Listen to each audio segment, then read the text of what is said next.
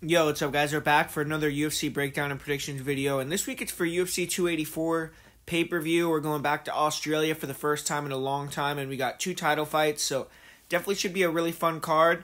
And just hit that like button, subscribe if you're not subscribed, put a comment down below, and let's get into this first fight here with Zubair Tukhugov. He's going to be taking on Elvis Brenner. And we see here right away that Zubair is a huge favorite. I think he's minus 600 now. They got him at minus 500 on the Tapology page, but I think his line has moved a little bit.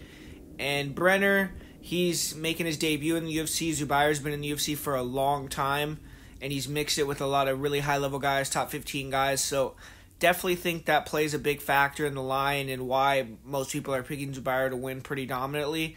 And when you look at the styles of both guys, Elvis Brenner, he's younger, he's aggressive, he comes out of Chute Boxe, so you know he's going to come forward, pressure Muay Thai, has good grappling, and his wrestling doesn't really seem that great. I feel like you could take him down. His takedown offense isn't really that effective, but his grappling is high level. If you bring him on the ground, he's going to throw up submissions. He's going to look to sweep you, and if he's on top, he's going to be dangerous. I feel like someone like Tukhugov with the top pressure with the experience that he has, the wrestling uh, chops that he has, I think he probably will be able to manage being on top if he is on top and stall out Brenner. So Brenner in this fight is, in my opinion, most likely gonna have to win it with the stand up if he does win it, or catching a tired Zubair in a submission. But I, I just don't think that is as likely. But on the feet, he is very hittable. He doesn't move his head. He does have decent offense, and he's pretty long for the weight. He'll throw some nice uh, pull twos, counter twos, knees up the middle, and he tries to stay in your face and keep the volume high. And Zubaira, we know how he fights. Uh, he's fought in the UFC for a long time. Kind of has that Russian striking style where they stand real tall, real light on their feet, bouncing in and out. And then he has that big overhands, the uh, big left hooks, throws heat. He actually has very fast hands as well, so he's a dangerous striker. And early on in the fights, he has power. He's throwing a lot. He's explosive. He closes the gap quick.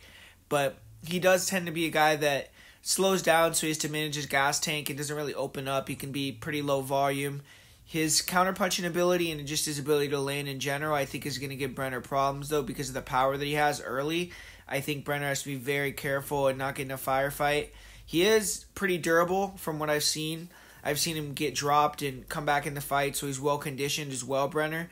So Zubaira, I don't know if he's going to necessarily knock him out. I think he has the opportunity to, but if it doesn't happen early, I think it's probably going to have to be three rounds for Tugoff. And Tugoff always has that wrestling in his back pocket, even though he doesn't use his wrestling as often as he should or that frequently in a lot of his fights. He can go to it, take guys down, blank it up. We saw that when he fought Lerone Murphy and when he's fighting other strikers or explosive fighters that have given him some issues. And in this fight, I just think that Zubair has too much experience. I think that his ability to mix it up and his power, his speed edge closing the distance is going to play a big factor. I think Brenner has pretty good weapons. His length it makes him more effective than he is technical on the feet, but I think Tukhugov has the edge in the footwork and the speed.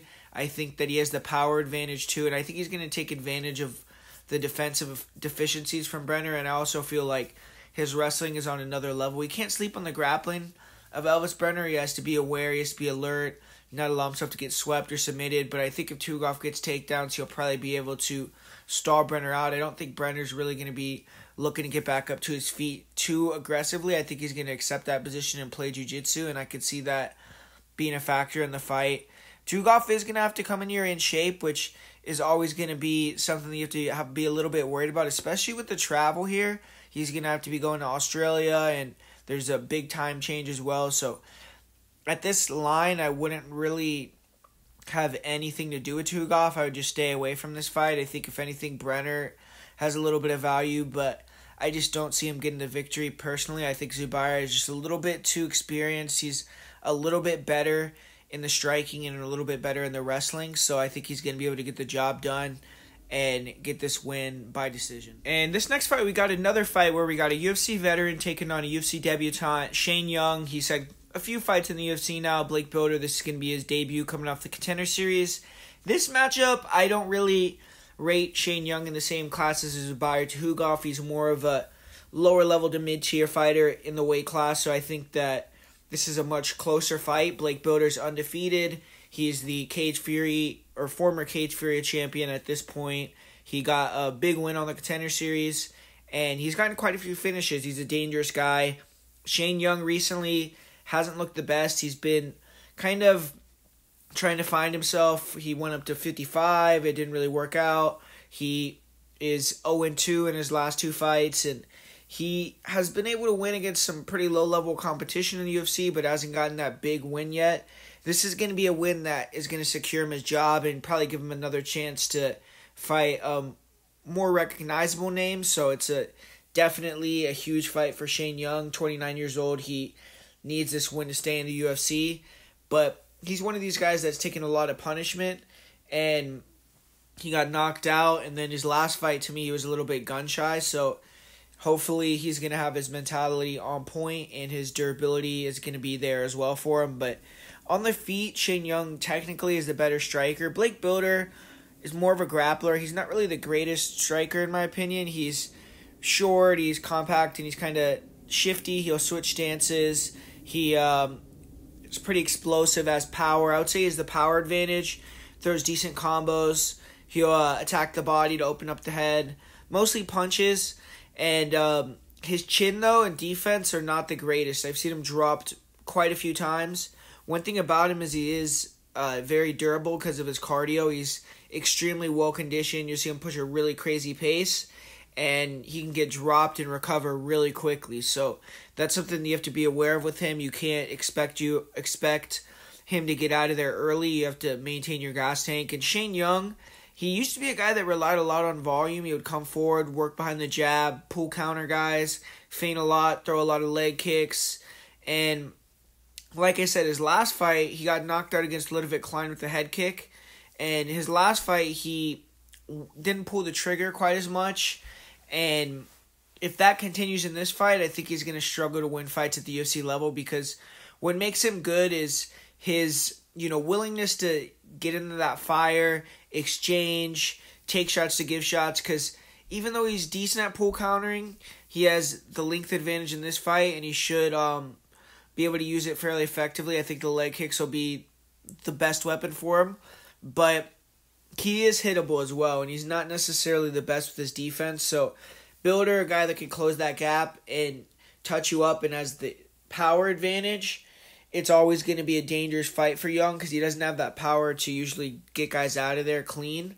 Um, and Bilder, he's the better grappler. The wrestling, I don't really know. I feel like Bilder probably has a slight edge in pure wrestling, but he's not necessarily the best wrestler for MMA. What he is good at is he's good at finding the back. He just finds the back in uh, scrambles on the feet, and he's pretty good at that. And when he gets to that back, he can finish the fight with rear choke. So Bilder is going to be looking to find any opportunity to uh, get the back of Shane Young, a slip, you know, flurrying on him and then circling to the back really quickly. That's his thing. And then he can jump on the back and get the hooks in really fast and look for that choke.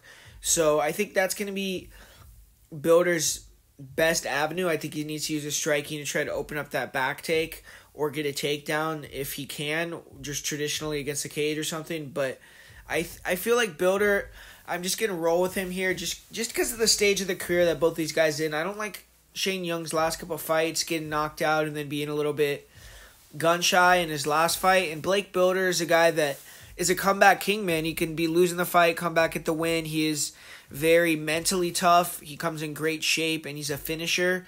And this fight, Shane Young's hard to submit, so I feel like he might in this fight actually get a decision win, backpack him a couple rounds and get the win that way. I think Shane Young might have some success on the feet, but I think he's not gonna open up as much as he should. I don't think his volume is gonna be where it needs to be, and I think Bilder's gonna take advantage of that by being a little bit more aggressive, using his explosiveness to get inside and eventually somehow get it to the ground. So I'm gonna go with Bilder to win this fight via decision, actually. And for this next fight, we got Loma Lookboonmee. She's coming back. She's taking on Elise Reed.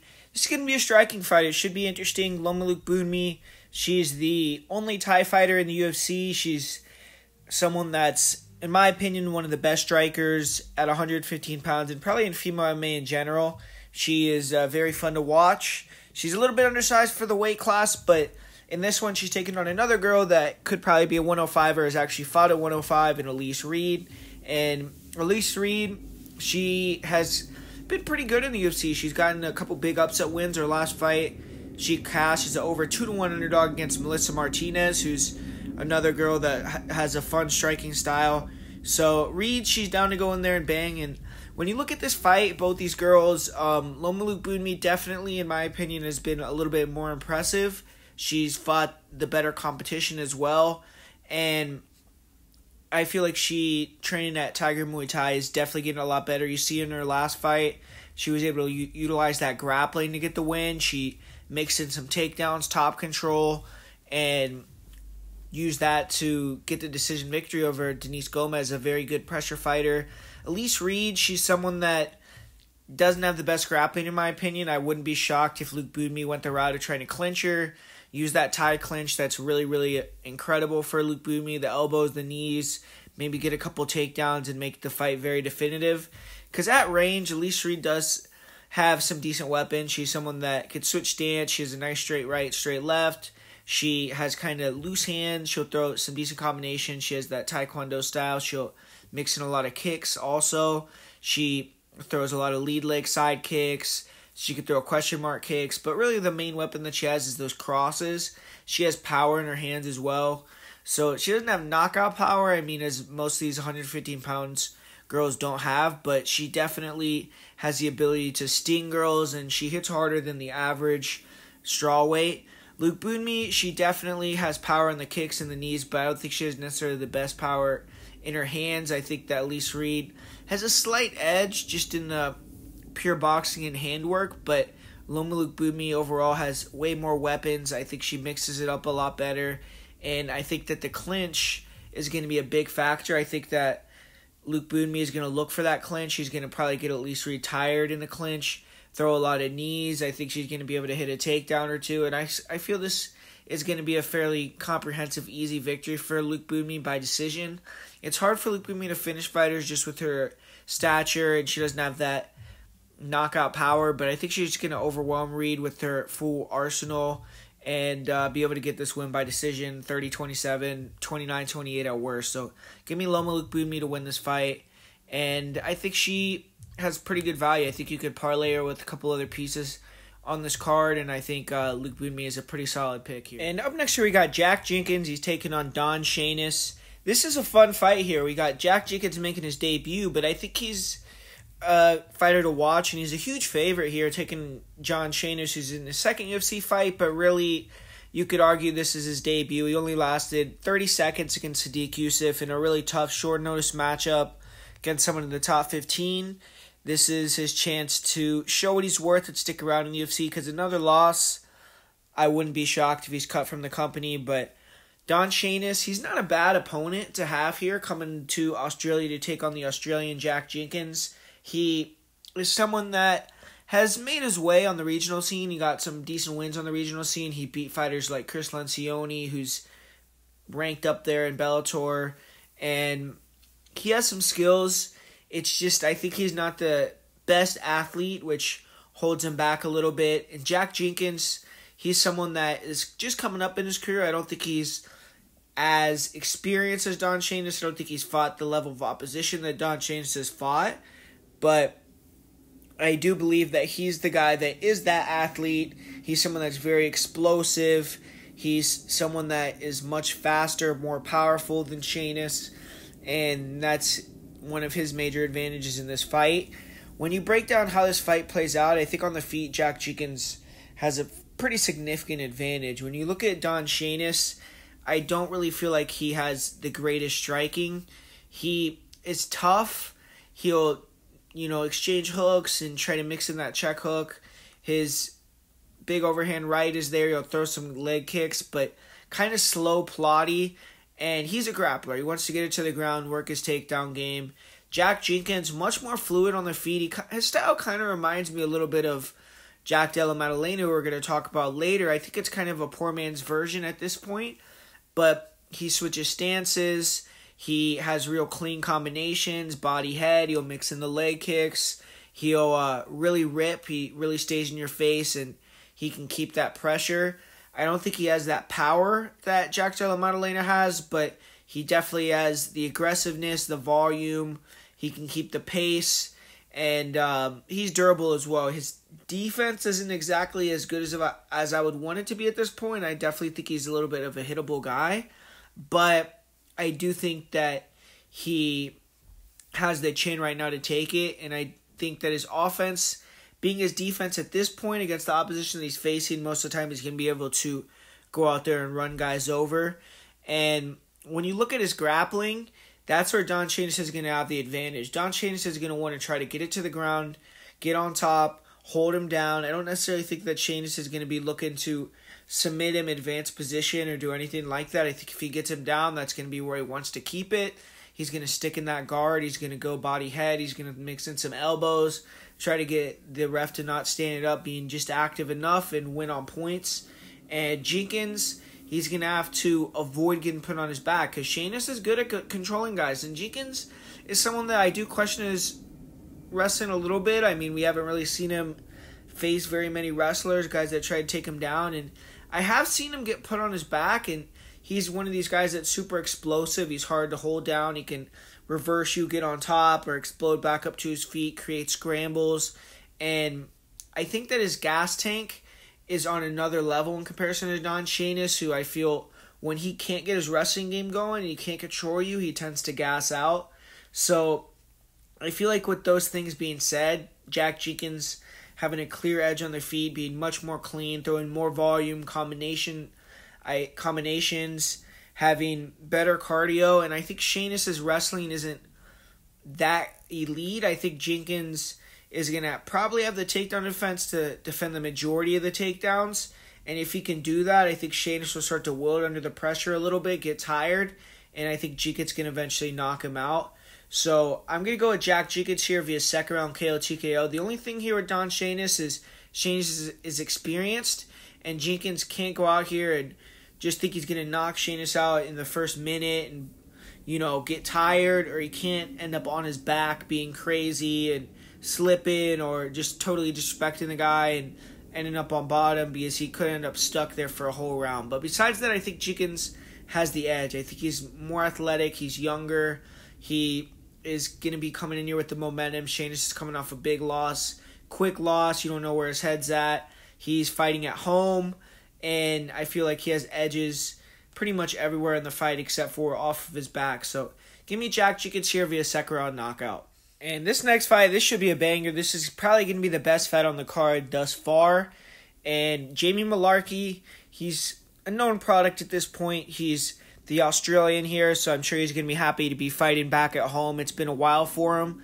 And he's coming off a big time win. He just beat Michael Johnson who say what you want about Michael Johnson, you could think that he's well past his prime, and that might be true, but he's a marquee name, and he's just coming off a win himself against Marc Diakiese, so he's definitely not totally washed up here. So that was a big victory for Mullarkey, and he's taking on not probably the opponent that he wanted to face here, but he's taking on a UFC guy that's debuting here, undefeated 11 0 fighter out of Argentina, Francisco Prado, and this is a fight for Mullarkey to do good in. He ha- probably has to win here. Not that his job's on the line or anything, but it's a fight where if he loses, he's going to drop significantly in the rankings. Right now, I would say he's probably that 25 to 30 range, pretty close to the top 15. But if he loses this fight, I think it's going to be tough for him to ever find his way back to that top 15 ranking. He'd have to win two, three, four fights in a row, even.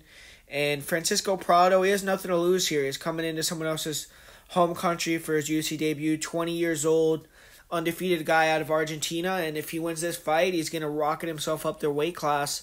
But with Jamie Mullarkey on the feet, he's a guy that has taken a lot of punishment, so you definitely have to wonder about his chin, but his toughness can never be questioned, and he's shown extreme durability in a lot of his fights. You look at that fight with Jalen Turner, not many people have been able to like hold up to that firepower that Turner brings you. And Jimmy Mullarkey, even though he got knocked out eventually, he took a lot of punishment and showed extreme toughness in that fight. And even though his striking when he came into the UFC was more reliant on him taking punishment to get inside and create brawls, he's gotten more technical now. He's using his reach better. He's a tall, lengthy guy for the weight class. He can mix it up with the punches and the kicks. He throws a little bit better combinations. He's a little bit more cognizant with the defense. So he's improving all of that. And with Francisco Prado, this guy's just a marauder on the feet. He comes forward, throws bombs, short, compact guy, young, like I said, 20 years old. So he has all the confidence in the world right now, and he has big power in his hands. So he wants to close close the gap on you, throw those big punches, overhands, hooks, get you against the cage, flurry, try to knock you out, and then take you down. And he has good wrestling. His wrestling, I wouldn't say, is elite. But one thing with Mullarkey is we haven't really seen him fight any wrestlers yet in the UFC.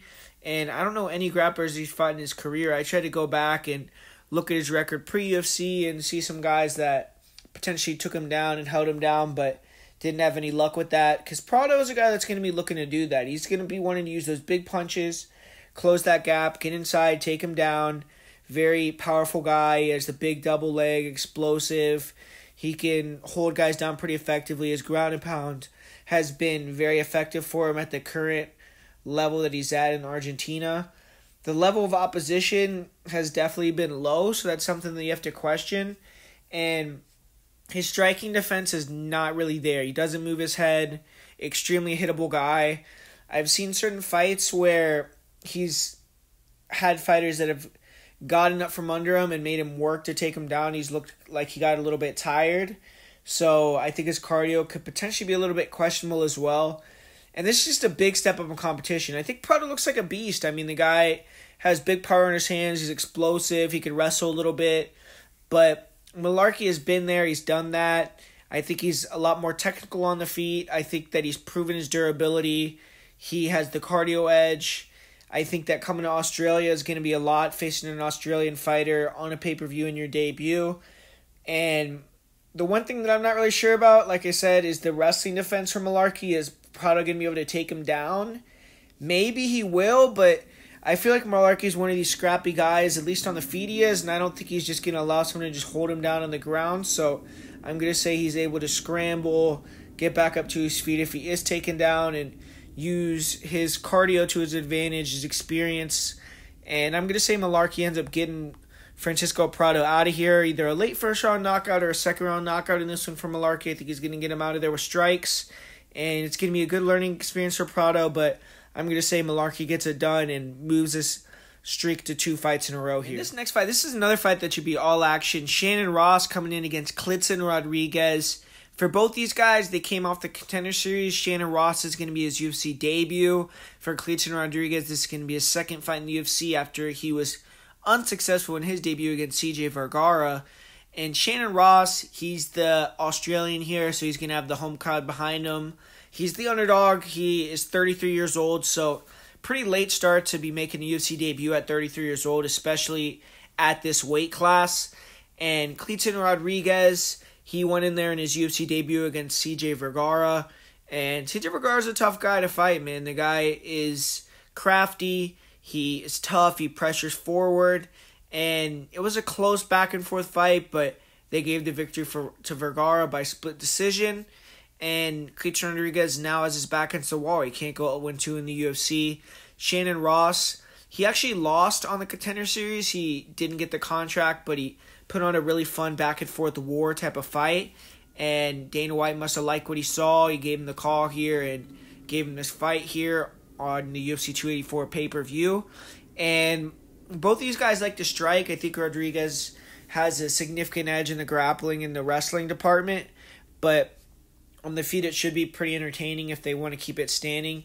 Shannon Ross, he's one of these guys that he is a killer be killed fighter. He comes forward, has really sick combinations actually. Like he'll throw body head, he mixes in some head kicks, he'll throw some real nice front kicks, leg kicks, real fluid combos, stands right in front of you and will just go to war, try to throw heat.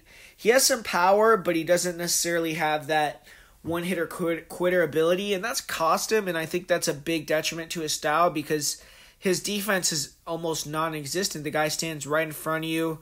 He switches stances sometimes right in the pocket, which I don't like to see because I just feel like it totally makes his defense just not where it needs to be, and he can get clipped.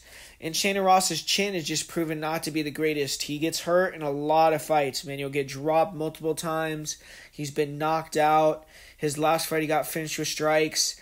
And he definitely is the higher volume fighter. And I would say probably the cleaner striker offensively in terms of he throws those really nice combos. He picks his shots well. Kleydson Rodriguez more plays that sniper role where he's trying to land those nice uh, crosses in between your shots or a big jab. He's looking for the uh, counter elbows. I've seen him throw those. He has nice leg kicks, but he's not necessarily throwing that volume. He's not throwing big combinations, and he's more looking for the big punches. And then he has good body locks, pretty good grappling. You can get the back, and I feel like he's the more durable fighter the much more athletic fighter and he's bigger in the matchup, which I also think is a big factor. I believe that Kleydson Rodriguez is going to be able to land those shots when Shannon Ross is pressuring him throwing combinations. That's what he likes to do, man. He likes to sit back and pick those counters. Ross is going to give him a lot of opportunities to touch that chin, and I just don't trust that chin to hold up against Rodriguez. I'm not necessarily knowing if Rodriguez is going to knock him out. I feel like Rodriguez in his last fight he was really gun shy, but in this fight hopefully he opens up and that was just some jitters. And if he does open up and throw some heat, I think he could definitely hurt Ross and put him out of there. But it's just tough because of Rodriguez's last fight that kind of throwing me off a little bit. But I think even if he doesn't knock him out, he could hurt him and then get a submission. And even if Ross is giving him issues on the feet with the pressure and just being a little bit better in the pocket with the striking. I think Rodriguez could take him down too with the body locks, control him on top, maybe even get to a dominant position and submit him. I've seen Shannon Ross's wrestling and grappling, and I wasn't too impressed with it overall. And 33 years old, being a flyweight, you're getting up there, and I feel like Ross is someone that's really fun to watch. And they put him on this pay per view because they know he's going to bring it and to go for that kill or be killed type of style. But I think Rodriguez is going to be able to get the finish here, whether it's hurting him on the feet and TKOing him, knocking him out, or hurting him and getting on top and submitting him. But I think he's going to rock him at some point and be able to either finish him with strikes or finish him with a submission. So Kleydson Rodriguez inside the distance is the pick for me. I'm going to say he wins by TKO. And I'm gonna go with Kleydson Rodriguez by second round. In this fight, this is a great clash of styles with between Josh Culibao and Melsik Baghdasaryan. With Josh Culibao, he's going to be the fighter out of Australia, Baghdasaryan, coming out of Armenia. He trains in California, and this is going to be his first fight out here in Australia, but definitely is used to traveling, fighting out of his comfort zone. And this should be a really, really fun fight to watch with Melsik Baghdasaryan. We got a former kickboxer, elite striker. He stands southpaw, which gives him another tricky element to his striking style and he's an extremely accurate guy, man. I mean, the guy just has very, very good timing, very good accuracy with his punches, nice kicks. On the outside, he's not really a combination guy. He tends to try to land um, big overhands, check hooks, straight straight right hands, straight left hands. But when he gets on the inside, when he can back you up and get on the inside, the guy will rip the body with nasty hooks big hooks up to the head. He's very good in the pocket. Like I said, his punches just land right on target, and he throws punches and bunches on the inside. He really goes to uh, hunt and kill guys. And he's strong. He's good in the clinch with his offensive weapons, elbows, knees. Overall, his wrestling, his grappling is a little bit questionable. I think that as he moves up in the rankings, that could be exposed a little bit. And his defense on the feet could be better as well. He tends to really load up in the pocket, like I said, and he tries to go for the kill. And even though he can overwhelm a lot of guys and he can land some clean shots, I think that if fighters don't oblige him and stand right in front of him and they stick on that movement game, they could, you know, kind of touch him, pot shot him a little bit, and Baghdasaryan can get a little bit frustrated I feel like his cardio is a little bit questionable as well, especially if you try to mix in the grappling and force him to defend takedowns or clinch with you. And Josh Culibao is that guy, man. Josh Culibao is a very well-rounded fighter. He's been underrated since coming into the UFC. He was a big underdog, and against Jalen Turner it was warranted. He didn't have what it took to go up a weight class and beat one of the biggest lightweights in the division. He gave it a good effort, but he got finished in the second round. But since then, he's fought in his traditional weight and he's been able to do really well. He went in there against Charles Jourdain. He was a huge underdog. In my opinion, he won that fight. They gave him a draw, and then he's won two fights in a row now. He's coming off of a nice victory over Sung Woo Choi, where he rocked him on several occasions and really showed a different element to his skill set. He looked really good that night.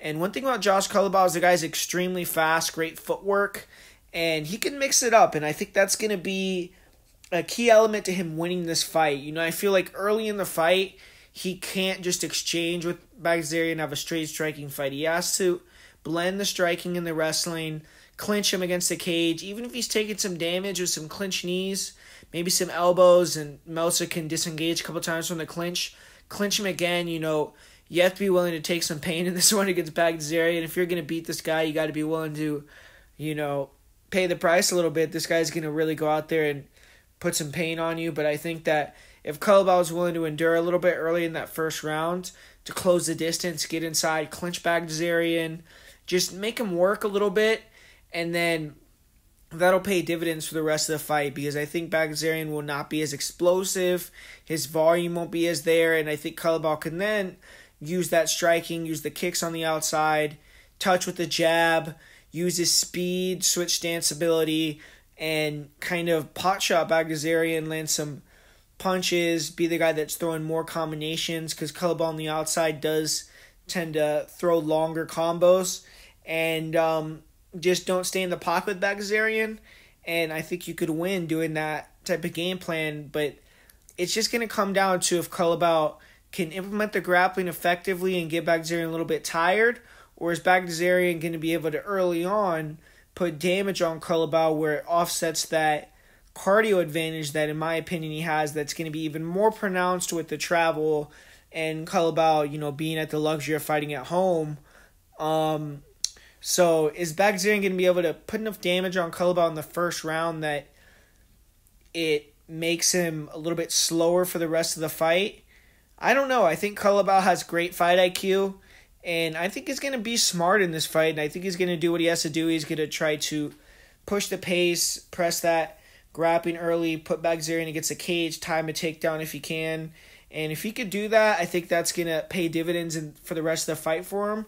And I think he's going to be able to be more effective in the striking, competitive in the striking, maybe even have a slight edge in the striking as the fight wanes. So I'm going to say Culibao wins in a competitive decision. And this, this next fight. fight. for me is a tough one here. With Tyson Pedro against Modestas Bukauskas.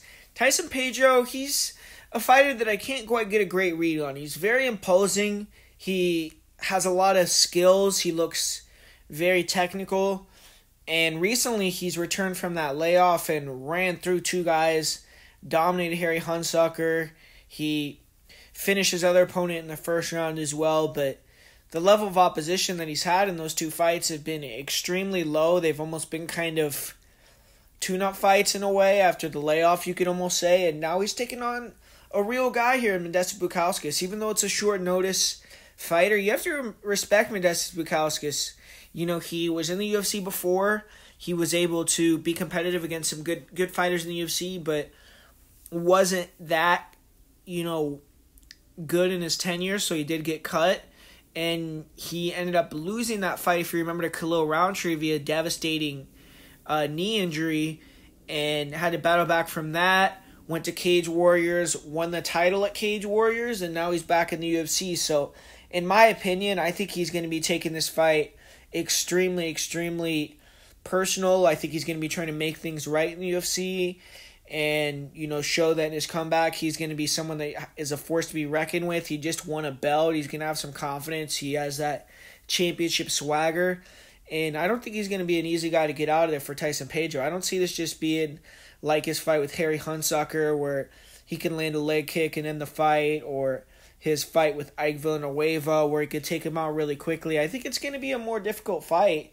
and Tyson Pedro does not have a lot of experience in long fights. Usually, when he wins, he runs through guys in the first round, and I haven't really seen him have to battle through adversity and come back. I guess you could. I guess I'm wrong with that. I guess you could say the Khalil Rountree fight he did get dropped. He was able to end up getting the submission pretty quickly soon after that in the first round. But you look at certain fights that get pushed past the first round, man, and he just falls off a cliff. His volume is gone. For instance, with the fight with Ilir Latifi, he just gets held down. I think a more worse example of it is the fight with Shogun Rua, where he really struggled in that fight. And Pedro, I think he's one of these guys that he definitely is a very elite striker. He has really technical boxing, and his kicks on the outside are very effective too. Good front kicks. He throws pretty heavy leg kicks, which I think he's going to be looking to use in this fight. And question mark kicks, head kicks, real fast kicks. But I think his one twos, his check hook are really sharp. And when he gets inside, he'll he'll attack the body. He could really land some nice tight shots in the pocket. And I think he has an edge there, pure boxing wise. But uh, Bukauskas, he, in my opinion, is going to be on the back foot, at least early. But he has a nice jab. And I think that what he needs to do is try to use that jab as Pedro comes in and clinch early on in the fight. And if he can do that, I think he's going to have the better cardio down the stretch. Bukauskas has shown it time and time again that he can come back late. He's gotten a lot of third round finishes, fourth round finishes. He's been in title fights, and he's not going to get tired. The guy comes in shape. And unless he's not been training that hard, this is a short notice fight. He just fought recently, and he's someone that's been really wanting to come back in the UFC. So I'm sure he's been thinking, I got to stay in shape for a short notice opportunity. So I feel like he is going to come in ready to go. And Bukauskas is also more of a kickboxer. But I think if he can use that clinch and just kind of lean on Pedro, wear on him, and get him tired, and then make it much more competitive in the striking. Because early on, I do think that Pedro has the speed edge. He is just a little bit more sharp. Bukauskas has good striking as well. Like I said, he has the jab. He has a pretty good uh, pull too. He keeps it long with his hands also.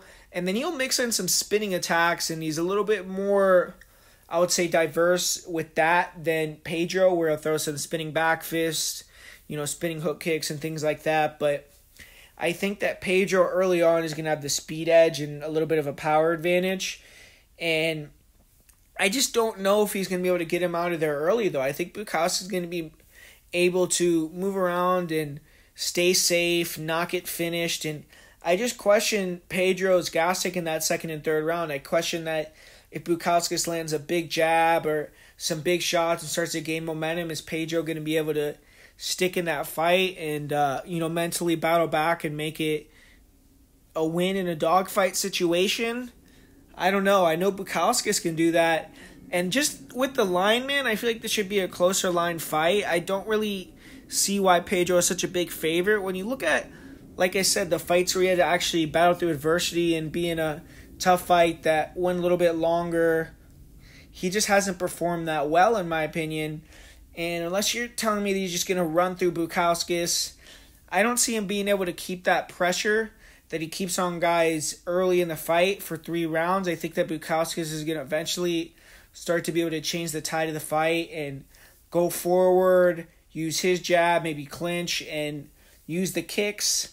And I just think he's going to have the more volume and I also think that another thing that's playing a factor for me is just the mentality of both guys. I'm not saying that Pedro is mentally weak or he's not going to be up for this fight, but I think that Bukauskas has a lot of motivation, having that knee injury, getting cut from the UFC, having a battle back, and having this as his debut. I think he's going to be really, really willing to go out there and lay it all on the line to get a victory.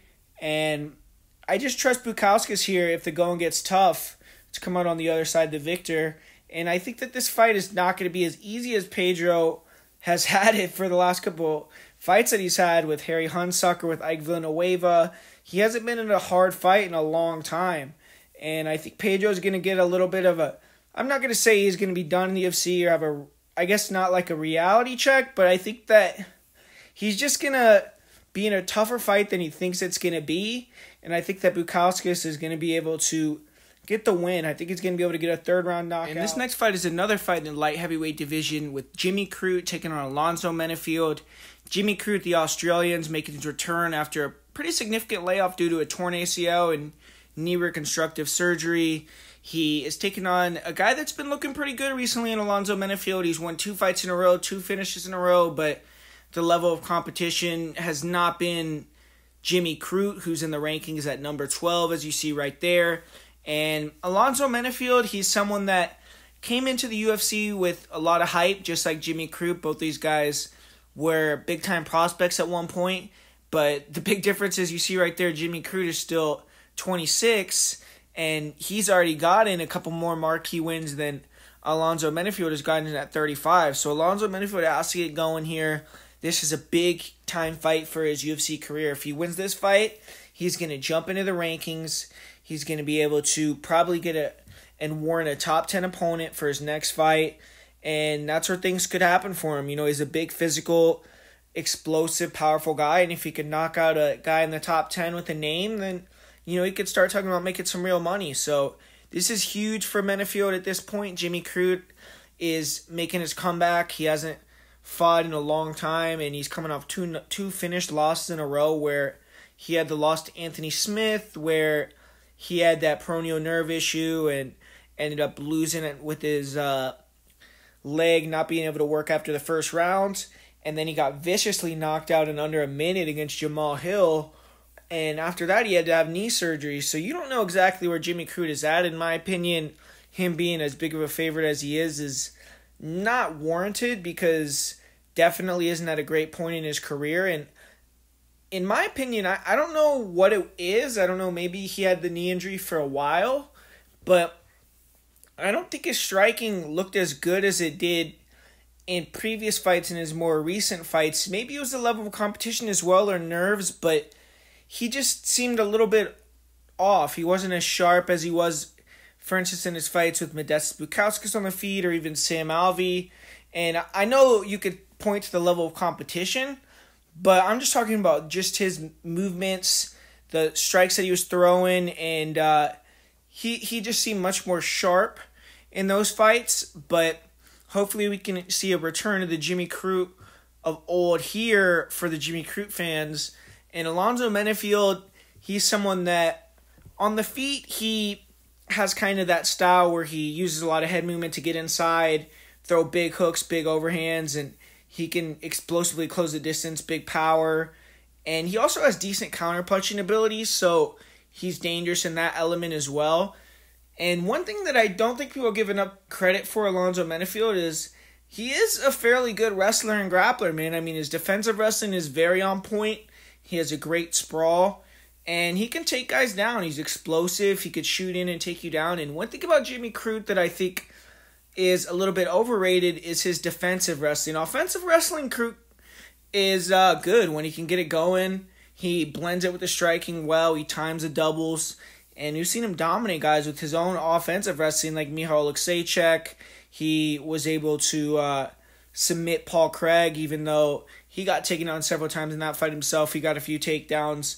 And he's shown um, good offensive wrestling, but he stands very tall and he does that because he likes to throw a lot of kicks on the feet and stay quick and um, long, but it does kind of leave him susceptible to getting taken down. I think that his takedown defense has not been tested too much, and we did see him get taken down though in his fight with Paul Craig, which I don't think is a great sign. I mean, we've seen Paul Craig fight in the UFC quite a bit. We know that he's a jiu-jitsu ace, submission wizard, but his wrestling isn't really a strong point of his. We've seen multiple fights where he struggled to wrestle at a pull guard and couldn't get it to the ground. So being able to take down a guy like Jimmy Crute several times, that isn't something that, in my opinion, is a great sign for Crute. And Crute also just had knee surgery, so I think that also makes you a little bit worried about the takedown defense. Menifield, if he takes him down, is very heavy on top and has good control He's shown good ground and pound. He's shown a good ability to get to that crucifix position and finish fights. I don't necessarily think he's going to be able to out grapple and move into that crucifix or dominate into a position and finish Crute on the ground because Crute is a black belt and he's superior grappler. But he could potentially smother him and control the position and win that way. And Crute does have a really good Kimura off his back. But I do think that's a sneaky thing that could potentially happen in this fight is Menifield trying to go for takedowns and holding Crute on his back, trying to stay real heavy, real tight, and um, win that way. But on the feet, like I said, Crute, if you go back and you watch his fight with Bukauskas, maybe a couple other fights, his striking looks sharp. I mean, he's staying long, throwing one twos down the pipe. He's throwing nice kicks. He's very fast. And if this fight's just on the outside, he's going to be the superior striker because he has the length advantage, even though uh, he, or not the reach, he actually has a much shorter reach, which is kind of weird because of the height, but he's taller. So with the kicks, he's to have the advantage there. Menifield doesn't really throw a lot of kicks, and he'll have the length with that. And um, I think he's just a little bit sharper, cleaner at range. But one thing about Crute is his defense is not good, very hittable guy. And, you know, Menifield gets in and connects. We definitely know that he has big power, especially early. Crute just got flatlined in his last fight. So I definitely question his chin a little bit. And I just think this line is off, man. I feel like Menifield is the more explosive guy. I think he can get inside on Crute and land some big punches. He has the reach advantage by a pretty significant margin. I think that if he lands and connects clean early, he has the chance to knock Crute out. And I also believe that he could mix in some takedowns potentially, control him on top and win that way, hold him against the cage. Crute, I do think, has a pretty big edge in the cardio department.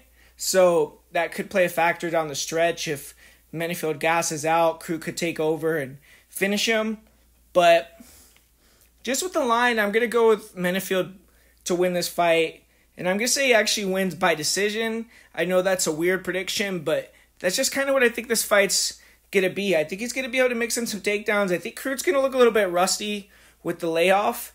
And I feel like Menifield's going to take advantage of that. And I'm to go with Menifield by. And coming up next year, I don't really have a long breakdown for this fight. I'm not too interested in it from a betting perspective. Should be a fun fight to watch here, but two lower level heavyweights. One thing I do have to say with Parker Porter is he you do have to give him some respect, man. When he first came to the UFC, it was kind of funny to uh, poke fun at him. Obviously, his name is a little odd, and then he is a big fat guy, but you know he's proven. You know he does his thing, man. The guy comes in great shape. He throws a lot of volume. He might not be the best fighter in the world. He might not be the most effective fighter in the world, but if you go in there and you get tired against Parker Porter, he's going to put it on you. And if you go in there, you don't respect him, he's going to show off his skill set and he's going to beat you. So he's definitely a formidable fighter. He's very experienced, 20 pro fights. And Justin Tafa, he is definitely the scarier looking guy. He's the New Zealander, Samoan. He has a really good uh, brother that's a kickboxer that's supposed to be on this card that I believe sustained an inj- injury and came off the card but he's coming off a nice victory as well. Justin Tafa, first round knockout win over Harry Hunsucker. And this is a big time fight for Tafa, who's the younger guy, 29 years old, trying to progress and kind of has been up and down so far. He's 5 and 3 in his career. He's moved really quickly. Obviously, usually when you're 5 and 3, you're not in the UFC, and he's already had quite a few UFC fights. And if he could beat Parker Porter, then it'll show that he potentially is ready for that next level of opposition. If he loses, could potentially be cut because it, it's just hard to stay in the UFC at that lower level. With heavyweights, I wouldn't be surprised if they kept him around because he is fun to watch and he's someone that bangs. But it's just he would be in a danger zone there because he's a lower level and you can't afford to lose when you're at this level in the UFC. And he hasn't really beaten anyone great. You know, the guys that he's beaten have gotten cut, and he has losses to fighters like Jared Vanderaa. So I think this is a very important fight for Justin Tafa. Parker Porter, he got sacrificed, I guess, a little bit in his last fight against Almeida, but he's gotten some good good wins, man. He beat Alan Baudot. He got a win over Chase Sherman. He got um, another couple victories, but obviously those aren't the highest level names, but they're fighters that are at the same level or around the same level Justin Tafa. And I feel like Tafa is probably the more technical striker. Early on in the fight, Tafa is going to be throwing heat. He's going to be looking for that big left hand. He's going to be throwing the leg kicks. And that's going to be the danger time for Porter, who is definitely a very hittable guy. He's plotty. I don't think he has the speed or the technicality to match Tafa. But what Porter does have is this guy has a gas tank on him, man, and he's very, very durable because of that. He could take a lot of punishment and he sticks in the fight. And I think he can mix it up better. I think he could clinch. I think he could eventually get takedowns. He's going to be the heavier fighter. He's going to be a little bit thicker, a little bit bigger, a longer reach. And um, I think his volume on the feet is also going to potentially play a factor. The guy throws a lot of volume. The guy is, in my opinion, the fighter with significantly better cardio in this one. And even though Tafa's in there and he's down to bang in fights and he's gonna have a you know a big chance to get the knockout, I think if Porter can mix it up early get a couple takedowns, push Tafa against the cage. He could start to get him tired. We've seen Tafa get really tired in fights, and he's just not that experienced, man. Five and three, only eight fights. Few of those fights before the UFC, he was fighting some low level opposition, so even those fights aren't really that much experience. You can't really gain much from those fights. And I think Porter, he's been in the octagon with some real high level guys, man. I mean, this guy's been in the octagon with Jon Jones. He has 20 pro fights he, in my opinion, is one of the most well conditioned guys in the UFC. He has uh, elite toughness. He's someone that's going to go in there and fight for your money. And as the underdog in a low level heavyweight fight, that's kind of the side that I want to be on, the side that I think is a little bit more well rounded as well. And I feel like if this fight gets out of the first round, Porter has a huge chance to win, so it could be a potential live bet opportunity. Tafa is one of these guys that hasn't fared well in decisions. Porter's one uh, undefeated in decisions in the UFC, and I think if this fight goes past the first, it's Porter's fight to take. So I'm gonna go with Parker Porter by decision. And up next, man, we got another incredible matchup: Jack Della Maddalena versus Randy Brown. And I see some people are really shitting on this card hard, and I could see where they're coming from from a name value perspective. I can agree with that, but I think there's quite a few matchups that are going to be fire fights, man, even though they might be from fighters that you don't really know. But this is another one, even though I think this is one where people are really looking forward to it. Jack Della versus Randy Brown. Randy Brown's a fighter that you got to give him credit because he's been in the UFC for a long time, steadily improved. He's gotten into the top 15, he's fallen out of the top 15, and right now I think he's kind of very close, right on the outside looking in. He's on a win streak right now, coming off a win over always dangerous, always crafty veteran Francisco Trinaldo. And Jack Della Maddalena, he's surging up the rankings. He has won three fights in a row. He's knocked all his opponents out. He's looked extremely impressive. And he called for this shot. He wanted to fight in Australia. He was born in Perth, so you know the crowd's going to be behind him 100%. Not only is he in his home country, he's in where he's from, right in his backyard.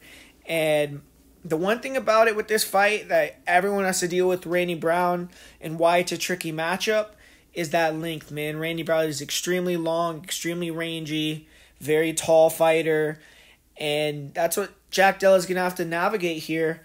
But so far in his career in the UFC, he's been nothing but dynamite, and Randy Brown's gonna have to kind of try to diffuse that. But Randy Brown he is a hard fighter to fight because the length and because he's just very athletic. He likes to flow in there, great head movement, very evasive guy, and good job sticking you, kind of pot shotting you with with uh, jabs, with straight punches, with push kicks, and then uh, making you miss, countering you, taunting you, getting you frustrated, getting you out of your game, and uh, he can just kind of pick at you for the whole fight. He throws some dangerous weapons too. He can bring up some big knees. He uh, will mix in some head kicks, some front kicks to the face, and uh, elbows. He definitely throws some techniques that can knock you out, but more most of the time he's a fighter that relies on volume, winning by decision, and his grappling has improved quite a bit. He's a pretty good grappler. He's out there in New York with that Shark Tank that they have, with uh, multiple gyms out there that have elite jiu-jitsu fighters with elite wrestlers and all that and he's been right in there training with all them but his wrestling to me is not very good i mean i've seen some of his shots and i feel like he just isn't a very natural wrestler but in this fight i think he may try to use the clinch and try to kind of close that space and get Maddalena a little bit tired and maybe eventually try to somehow get it to the ground with a body lock or if he could time a takedown really well. We've seen him do that a couple times in the UFC, but the one thing with Randy Brown is I don't know if he's going to be able to hold Maddalena down, which could be potentially an issue. But if I was him, I would definitely try to at least mix it up and make that an option because I think on the feet, even though he's slick and he has that evasiveness and counter ability, and he could keep it long he does get touched sometimes. I mean, we've seen him get dropped against uh, Khaos Williams. We saw him get knocked out in a couple fights. Even though the fight against Niko Price where he got knocked out, it wasn't like he got caught on the feet with any wild child or anything. But um, we did see Vicente Luque get him out of there. And Jack Della Maddalena is a very sharp guy. I don't know if Randy Brown is going to be able to use that hands down, head movement, evasive uh, Nis against Maddalena because Maddalena is going to go to the body as well. He's going to be timing his shots and using his accuracy, picking his shots really well. And I think that he's going to connect much more than some of Randy Brown's other opponents. And when he connects, he has that power in his hands that could put guys out. And I do question Randy Brown's chin a little bit. He is a super tough fighter, but I don't know if he could take that punishment. One thing that both these guys do um, have issues with is leg kicks. I've seen Maddalena have issues with it. I've seen Randy Brown have issues with it. But neither guy really throws a lot of leg kicks. I think Jack Della should invest in leg kicks in this fight if he can. If he has that in his arsenal, throw some leg kicks. And I've seen his kicking game, it's okay. But mainly when you look at Jack Della, what you really like with him is the boxing, man. The guy could box. He puts together great combinations. His pressure is elite. He throws a lot of volume. He is really diligent with attacking the body, and that's actually how he's gotten a couple of his finishes, or I believe all of his finishes so far in the UFC with body shots. Or I guess not the Pete Rodriguez one, but he's finished a lot of guys with body punches, and he just if you can get in the pocket with him, man, you're in trouble because he's super super sharp. He keeps everything real tight. Nice left hook. He is just very very clean. The one thing is, if you did watch the fight with Ange Loosa, um, he did struggle a little bit with the jab. And sometimes, if you could pressure Maddalena and push him backwards, throw combinations, then you could land on him a little bit. And that's what Randy Brown has to do. If you watch the fight with Randy Brown versus Khaos Williams, he turned that switch on. He was pressuring and trying to stay in Williams' face, backing him up and staying long, throwing combinations. And I think that's what he has to do against Maddalena. He has to put himself in that fire to potentially get the victory.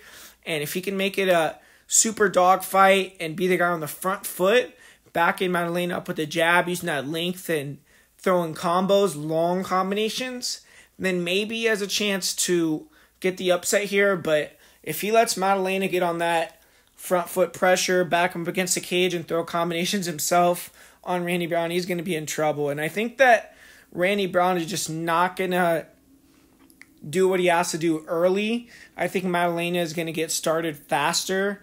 And I feel like it's going to be an uphill battle for Brown. I think he's going to struggle to push Maddalena backwards. And I think that Maddalena is going to throw some leg kicks in this one. I feel like his body punching, like always, is going to play a big factor.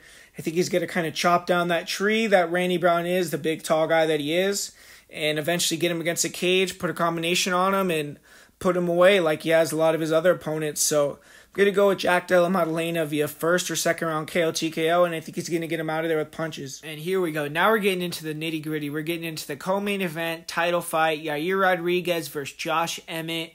Interim title fight, but doesn't really matter, man. This is to be a great one here. Both these guys are dynamic finishers. They can knock you out at any second, and they also can go to decision. They've shown great cardio. They're both the real deal. That's why they're in this title fight. And I think Yair Rodriguez, he is the more dynamic fighter of the two on the feet for sure. He's younger, and a couple of those things could potentially play a big advantage. And Josh Emmett, 37 years old, a little bit more meat and potato style, but it's proven to work for him. And he has that power to uh, turn the fight at any moment. He's very explosive. And with how I see this fight going for Josh Emmett if he wants to win. I think that He's going to have to obviously get on the inside. On the outside, you don't want to be there against a guy like Yair that's so creative, that's to be throwing a lot of kicks. He has to get in where he could land his big power overhands, his big hooks in the pocket. And I think that it's imperative of him in this fight to mix in the takedowns. I think that he has to go for a few, even if he's not effective, and at least give Yair that threat that he's going to level change and really commit to a couple takedowns. If he gets him down, that'd be even better. But he has to do that to open up the striking, I think, because if he doesn't, I think Yair's going to come into the rhythm of being able to see the shots coming, side to side movement, cut angles, not go straight backwards, straight forwards, and kind of pick him apart a little bit at range. So Emmett has to give him something to think about with the level changes and use that to be able to land the hooks or the overhands over the top and kind of change the tide of the fight by landing his power shots because he's not going to be able to keep up with volume. And honestly, I don't really think he's going to be able to come in here and out wrestle for five rounds a year. He's going to have to maybe use a takedown or two that he can get early to set up the striking late because I don't think he's going to have the cardio. And he just has not, in any fights recently, even gone for takedowns. So for him to go in there and have a game plan where he's going to shoot for takedown for five rounds and hold him down. I think that's just hard to imagine. But man, I mean, Emmett, he's always live in any fight. He's 37 years old. He's had a lot of injuries, knee surgeries, lower body injuries. But it doesn't matter. I mean, the guy has that one shot ability to change the tide of a fight. And even though he doesn't have a lot of knockout wins in the UFC, he's won the majority of his fights via decision getting those knockdowns, pushing guys back with the power, that could win you decisions, just like we saw his last fight with Calvin Kattar, even though I feel like Kattar won the fight, and a lot of people feel like Calvin Kattar won the fight. Emmett's power was able to put the tide in his favor and give him the victory in that one by decision. So that's definitely something that you have to factor in. Another thing that Josh Emmett that you never have to question and you have to give him maximum respect for is he's going to come in there with elite mentality. He if he gets injured in the fight, if he's coming into the fight hurt, he is going to be able to battle through it like we saw in the Shane Burgos fight. He is not going to get tired. He's going to come in extremely well conditioned. So the things that he can control, he's going to control very well. And Yair Rodriguez, this guy is an underrated fighter in my opinion. I think he's more now getting his respect after the Max Holloway fight and things like that. But Yair Rodriguez is one of the most dynamic strikers in the UFC. You see him throwing elbows, spinning attacks, flying knees. He is extremely fast, good hands as well. He has that one shot ability with uh, flying knees, with high kicks, with things like that, but his hands don't necessarily have that one punch power. But I think that out of the two guys, Yair, even though he doesn't have the power in his hands, is more dangerous just because he has a bigger arsenal of weapons. And like I said, for Emmett, he's going to want to get on the inside.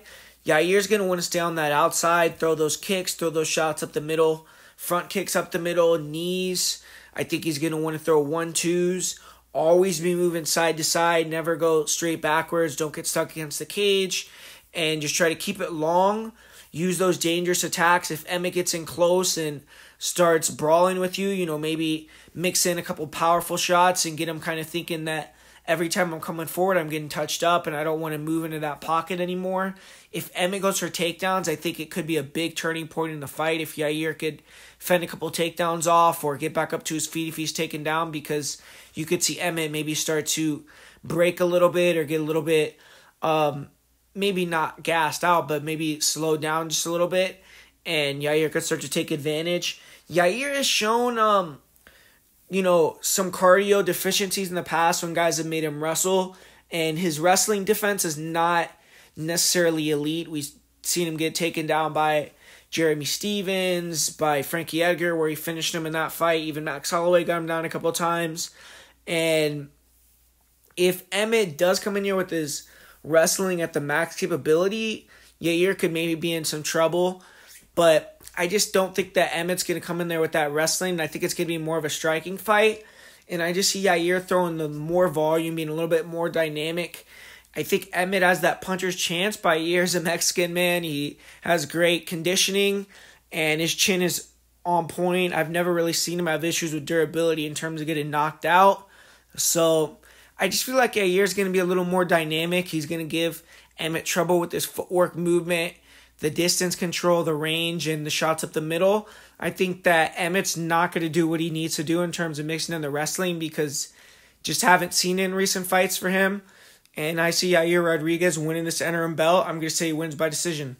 And finally, we got the fight everyone came to see. We got the number one pound for pound fighter taking on the number two pound for pound pound for pound fighter with Alexander Volkanovski fighting Islam Makhachev. Alexander Volkanovski returning home to Australia to do what a lot of people think is the impossible. You know, take Islam Makhachev's belt, become a two division champion. Islam Makhachev looking to claim that number one spot in the pound for pound rankings as he's as he just got the belt, moved into number two after beating Charles Oliveira. And something's got to give here, man. Both these guys on extremely long win streaks. Alexander Volkanovski's undefeated in the UFC. Makhachev obviously has the famous one knockout loss in the UFC. He's been on a double digit win streak now. And someone's going to be either leaving with two titles or uh, no titles, man. I mean, Alex is going to have the 145 pound title regardless. But Islam Makhachev, you know, he's going to be in his first title defense here, and we're going to see what happens. But with Islam, you know, we all know what we're going to see. He's going to use his dominant grappling, try to take Alexander Volkanovski down, hold him down. But his last fight, man, he showed once again that his striking is underrated. He uses that southpaw style, good distance control. He's tall for the weight. He has, uh, you know, good long range weapons with the one twos, with the pull twos, nice head kicks stays technical and doesn't really get in brawls. His defense has improved quite a bit, and um, he just keeps that distance very well. And then he times the takedowns when you close that gap on him. And just a very, very tough style to beat. When he gets on top of you, he's like a wet blanket. He's extremely hard to get up from under. His submission game is on point. His ground and pound is on point. There's not really a lot of faults you can give with Islam Makhachev. One thing I do think is I think Sometimes he can struggle a little bit with kicks. I think that he can have some big reactions to feints at times, and he is a little bit hittable. Obviously, if you can get him into a straight striking bite, straight striking fight, and if he has to be on the feet here against Alexander Volkanovski, I think he's going to be able to be competitive. But if he can't get the takedowns, then I think Volkanovski is going to run away with the striking. And Islam, I mean, I think he's going to be able to take Volkanovski down. I really do. I, don't think Volkanovski, I think his takedown defense is good, and obviously I think it's going to be as good as it can be in preparation for this fight. But I think the battle is mainly going to be if Volkanovski can get up from bottom or if he's going to get smothered and held down. I don't think it's going to be a Volkanovski can defend every takedown because I've seen Volkanovski get taken down by multiple opponents at 145 and if he's getting taken down by those guys, I think definitely that Islam's going to be able to time some takedowns and get him on his back. But no one that we've seen thus far in the octagon has been able to hold Volkanovski down. He just has that uncanny ability to always stay active off of his back, keep it fluid, and just work back up to his feet almost almost immediately, seamlessly, and just extremely hard to control. Very, very strong guy, short stature and it's just hard to corral him on the ground. He's usually right back up to his feet. And in the stand up, he's one of the best strikers in the world. His boxing is elite. I think he is not in that conversation sometimes. And I think it's warranted that he should be as one of the best boxers in the UFC and in MMA because this guy has elite feints. His timing is on point, speed kills, and this guy has incredible speed. His jab is nasty really good counter hooks in the pocket, both the left hook and the right hook. He mixes his levels up really well, attacking the body, attacking the head. And his footwork and feints are just unreal, man. He has some of the best in the division, some of the best in the entire UFC. And he's really good at pressuring you, staying in that boxing range, moving in and out, landing shots. And one thing that I think that really surprises a lot of opponents is just his weird body composition, man. I mean, the guy's a short guy. He has extremely, you know, when you look at him in Islam, he looks just like he is going to have way lesser reach, right? But then the guy has a longer reach, arm reach, than Islam does, than Max Holloway does, than all these guys that are significantly taller than him. He's just built um, kind of strange like that with the abnormally long arms, and that gives him ability to land his jabs and just be really effective on the front foot and uh, land punches from areas where I think fighters are thinking that they're a little bit safe. And the other thing that Volkanovski has is a really effective kicking game. He throws the nice leg kicks, body kicks, and I just like I said, I think this fight's going to come down to if Islam can hold him down or get him in a position and submit him, then it's going to be an easy night in the office for Makhachev. But if Volkanovski can continue to get back up to his feet and get back in his face, I think Volkanovski has to pressure in this fight. I know a lot of people are thinking, oh, you know, you got to keep the distance and try to avoid the takedowns and things like that. But if you put someone on the back foot, it's harder to time the level changes. And I think that Volkanovski just has to pressure. He has to try to stay in Islam's face, back him up towards the cage, uh, throw combinations, use that jab, uh, use that in and out style, the feints, and uh, just try to keep Islam uncomfortable try to get him tired by keep standing up to your feet when he takes you down and um, use that speed, man. You're going to be much faster on the feet.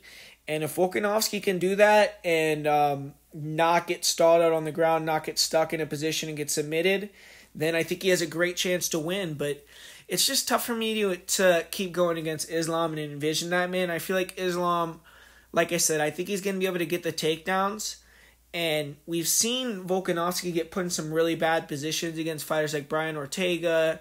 Chad Mendes was even even able to take Islam or uh, Alexander's back.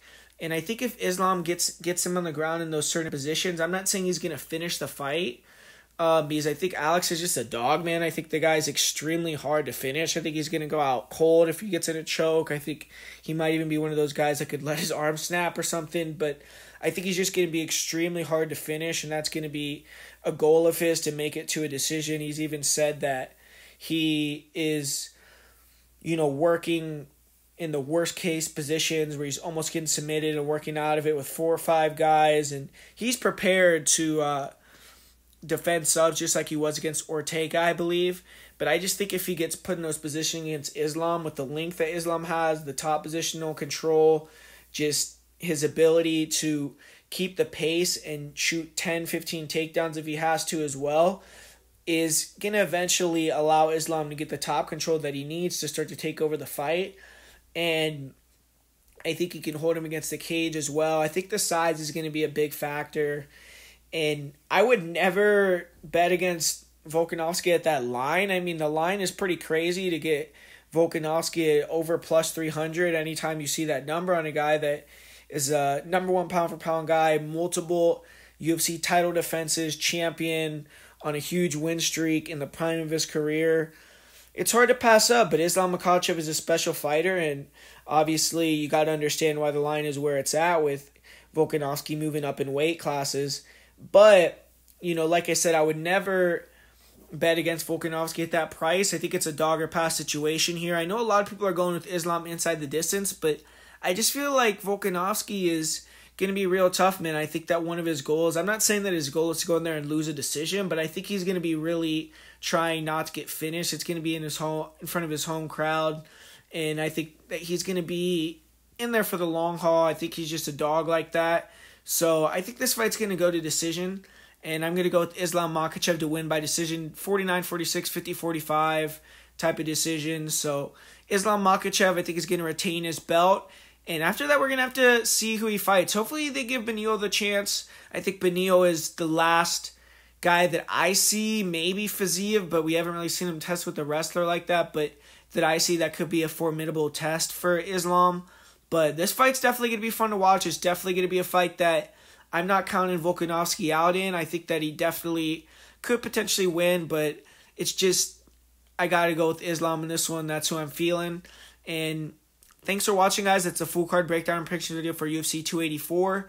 As far as bets go, I already have quite a few bets for UFC 284 posted on the Patreon. We've been killing it this year, man. We uh, just came off a pretty decent week last week. We put a free play on uh, YouTube with Jordan Lugo at plus 300, and he came through. So hopefully, a few of you guys jumped on that one. And um, as far as my parlay of the week, my most confident um, pick here. For the parlay of the week, I'm going to go with Kleydson Rodrigues and Loma Lookboonmee. And um, my most confident pick, I'm gonna say, um, I'm gonna go with Loma Lookboonmee as the most confident pick of the night for this card. So uh, thanks for watching, guys. Like I was just saying, uh, subscribe to the Patreon for me. That'd be awesome. You know, give me some money and let's make some money together because I almost guarantee you, man, we're going to make some money for the year. I've never had a losing year, and um, I'm in the top 10 in the world for uh, me tips for gambling. I feel like I give uh, a lot of great insight. So definitely go over to the Patreon and make yourself some money, man, by subscribing, joining the team. And other than that, man, uh, subscribe to the channel if you want to get more breakdowns like this. Put a like down below. Put a comment down below who you're betting. What you think about my breakdowns. Do you agree? Do you disagree? And uh, besides that, man, enjoy the fights, and I'll talk to you guys later.